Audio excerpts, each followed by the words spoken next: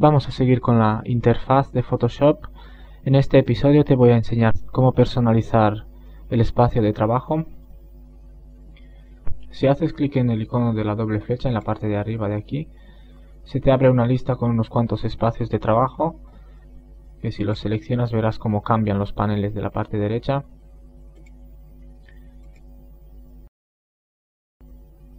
Bueno, a mí la verdad es que no me gusta ninguno de los que están aquí, ninguno de estos espacios, así que voy a crear el mío propio, pero antes vamos a ver qué, es, qué son estos paneles de aquí.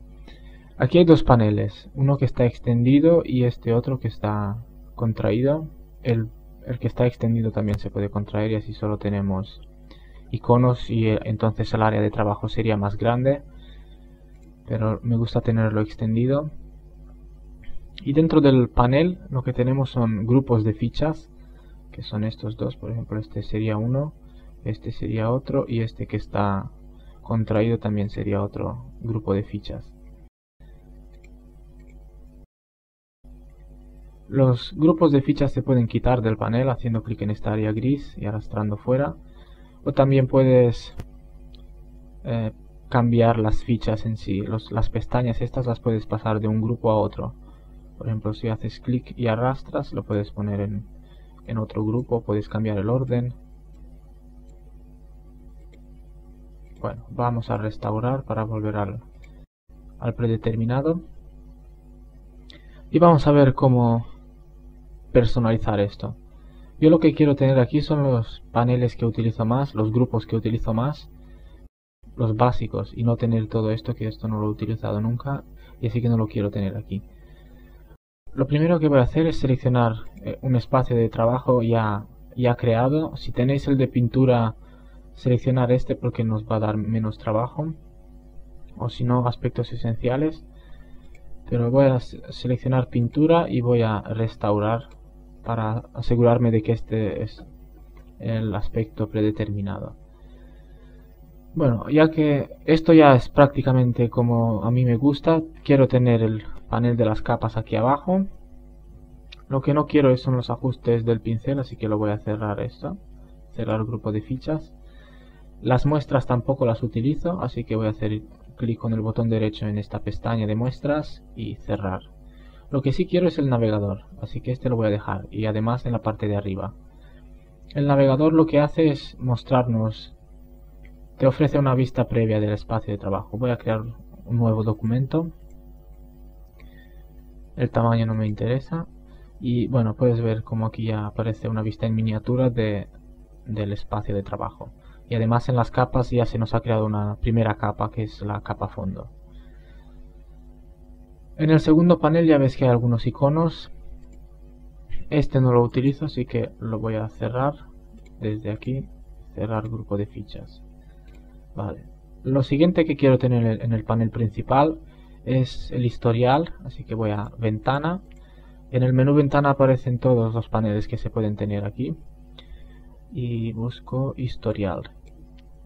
Vale, que es esto de aquí por defecto me aparecen en el segundo panel. Lo voy a arrastrar fuera y lo voy a poner entre el navegador y el panel de las capas. Así, y lo voy a hacer un poco más grande.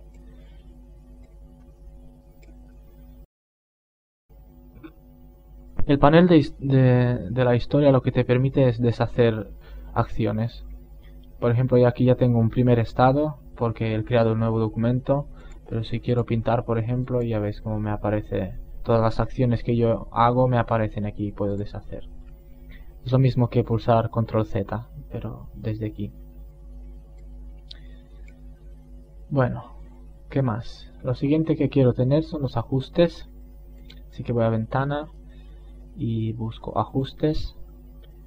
Y por defecto los ajustes me aparecen en el segundo panel minimizados y es justamente donde lo quiero porque así cuando hago clic en este icono la ventana de los ajustes me aparece aquí fuera y no me altera ni el, ni el orden ni, ni los tamaños de, de, estos paneles de aquí. Que estos siempre los quiero tener fijos aquí.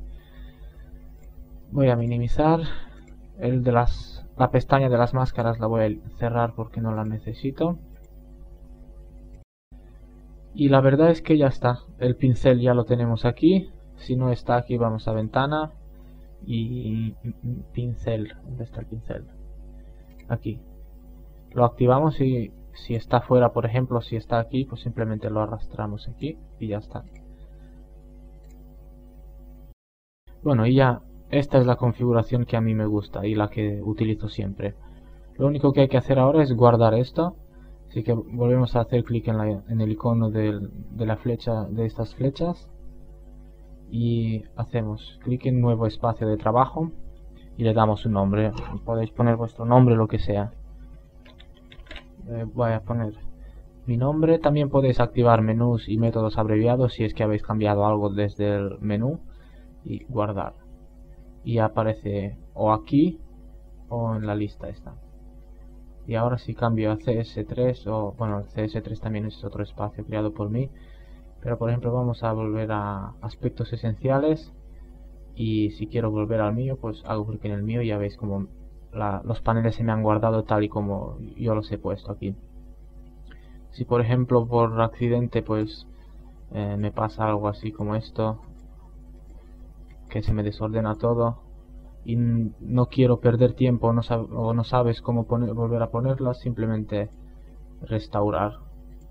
Y nos vuelve todo al, al estado en el que estaban cuando lo hemos guardado